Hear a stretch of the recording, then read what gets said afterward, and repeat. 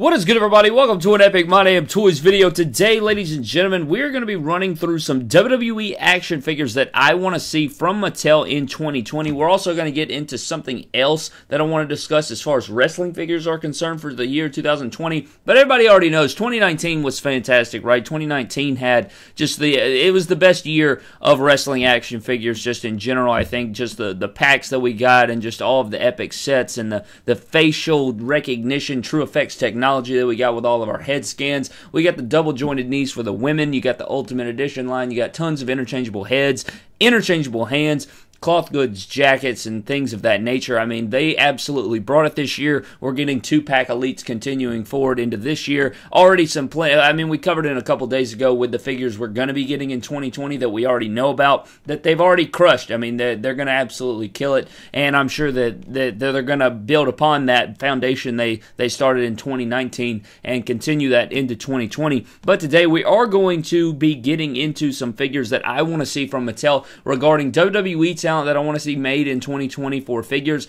And then there's going to be some other wrestling stuff that I want to get into. And uh, I do have some other things. So let's go ahead and get into it, guys. First off, this is a guy that I've been wanting for like two and a half, three years, probably even four years now. And it is Lio Rush. Now, the reason I say um, a long time is because he was actually my favorite independent talent before he got signed by WWE. I remember following him for a while in the independent scene. And then I remember being super excited. I remember his announcement on social media and everything with being, you know, signed to WWE. It was just a really big deal. This custom is made by BEW Animations, and he is an absolute beast. He actually made my version, or he made the head sculpt for my version. I did not buy one of these head sculpts. I, I should have. Hopefully, you know, he'll do another supply of those. Maybe they're not sold out just yet, but this is a fantastic custom of Lio Rush, and I'm really, really excited for Lio Rush because I remember, I think it was like a year ago, it seemed like he was going to be lost in the water, or like six, eight months ago, it seemed like he was going to be lost in the water. You know, he's with Bobby Lashley. He got put in on the back burner because we thought he was in trouble backstage. There was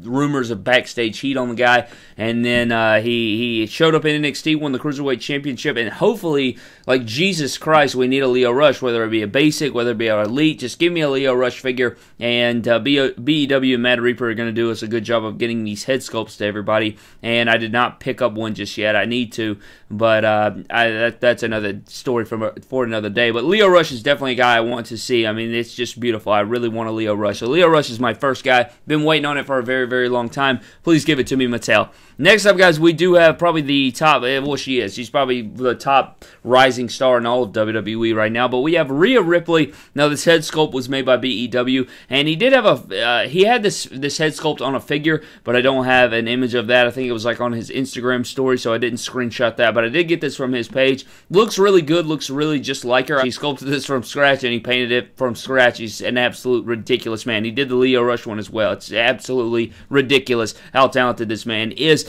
But this Rhea Ripley is a figure that we really do need from Mattel. And thank God for BEW and Mad Reaper for making these people, uh, you know, while we wait for Mattel to make these figures. So that's really excellent. So if you don't want to wait like me, you know, you go ahead and grab these and stuff. Even though I didn't buy any of these just yet, uh, I was, you know, tight on Christmas and stuff like that. But right here, we have Rhea Ripley, another talent that we really, really need from Mattel. I think she's probably the top lady that I want right now. I don't think there's another lady or woman on the roster that uh, we really need besides Rhea Ripley and uh, one or two more that uh, I may show up in this video. But here you see Rhea Ripley, another top talent from NXT that we definitely need on our roster. So Rhea Ripley is the next one. Another one is Dakota Kai. Now Dakota Kai, this is another just from scratch sculpted head sculpt that I cannot believe BEW does. These are ridiculous, but Dakota Kai is another NXT women's talent that I would love to see.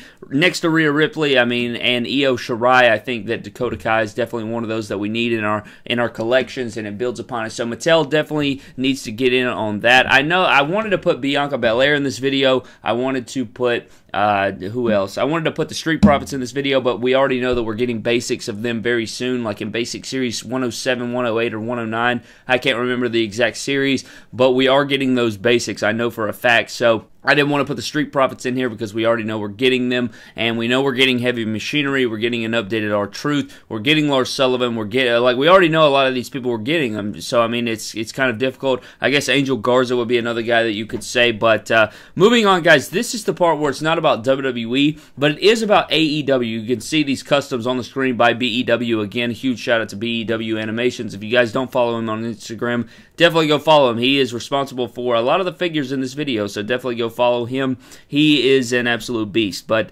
all these figures you see on the screen are AEW figures, and I know Mattel can't make the AEW figures, but I'm just hoping in 2020 we get some sort of announcement for some AEW figures, and I don't know who could make it. I guess Hasbro could make it. Um, I'm guessing because they don't really make. I don't think they have any wrestling deals. You know, I know Mattel is specifically signed with WWE. They can't make any other wrestling companies. That's like part of their contract that WWE gets. You know, with Mattel, it's like you know you can't make any other wrestling company's figures. So Mattel can't make them, but hopefully Hasbro or somebody, uh, some other toy company can come in, get with AEW, and make us a you know a figure line similar to Mattel's Elite action figures, and I'm sure that that will happen very soon. I'm I'm I'm about positive that we'll get that in 2020. At least the announcement. We may not get any figures, but I just want to see the announcement and you know the the start of the the process for that. And I think that is totally possible, but we will have to see in 2020. But that's probably my biggest one. I think behind Lio Rush,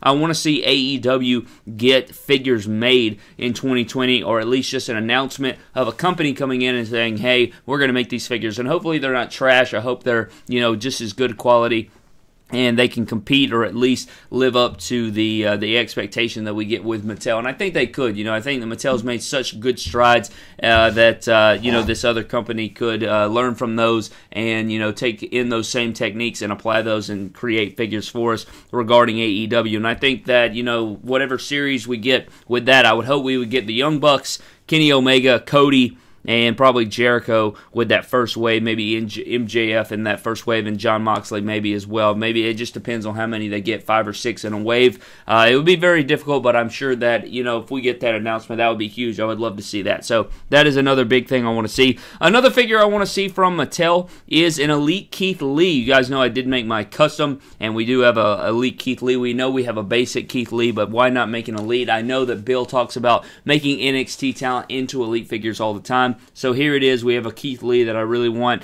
from Mattel. So Keith Lee is definitely one of those guys. And uh, I know that people say my body mold's a little bit big. It probably is a little bit big. You know, it's not a perfect, but again, it's just a placeholder till Mattel gives us something. And hopefully Mattel knocks their Keith Lee out of the park. I'm sure they will. The head scan's already pretty damn perfect. I don't know how you could improve it anymore. And then uh, the body mold is what it is. You know, I just used what we had and I tried to make the best of it. So Keith Lee's on the list for sure. Another guy that I want to see an elite from is an elite Matt Riddle. And I think we're going to get it in 2020. I think it will be released in 2020. I'm going to go ahead and say I think we will have a full fledged Elite Matt Riddle in this year, 2020, because I think Bill already confirmed. Um, I think you know he's talked to some people. I've heard from some people that actually talked to Mattel, uh, talked to Bill face to face, and he said that we are going to be getting a Matt Riddle with uh, with the removable flip flops or sandals, whatever you want to call them, and possibly either a hat or a jacket. I don't know. Don't quote me on the jacket, but I think we're getting the flip flops for sure, and then I think the jacket or hat is a possibility. So Matt Riddle is another guy that I really really want to see in elite form. Obviously, uh, we have our our placeholders are great. You know, Keith Lee, Matt Riddle, Lio Rush. They're great placeholders for now, but we want to see them specifically, you know, hand picked, hand designed, hand sculpted printed, true effects applied, great attire, you know, not have to worry about paint chipping or decals rubbing or anything like that with our custom figures. So uh, that is somebody that I really want to see. And then I think another thing I want to see, I doubt it happens in 2020. I guess it could maybe by the end of the year, but I'd like to see an updated John Morrison. Maybe they can take, you know, uh, I, I, think he'll probably in ring debut at the Royal Rumble. Maybe they can get that out by the end of the year, would be an updated John Morrison. And then another guy I would like to see is probably an updated Sheamus.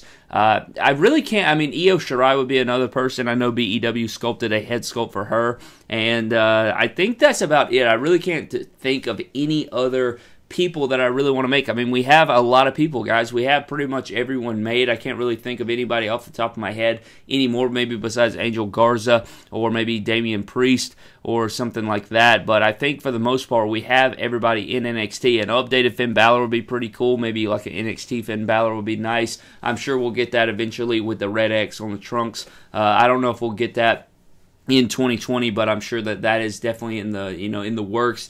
But i think that's about it. I really cannot think of anything else. There's probably some other females that we could probably make.